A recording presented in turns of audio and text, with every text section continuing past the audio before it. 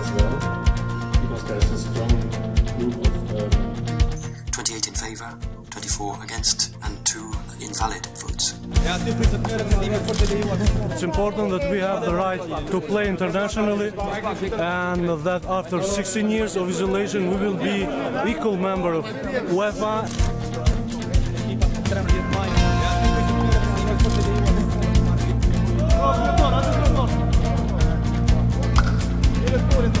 And we hope soon at 12 in Mexico I'm also a member of FIFA.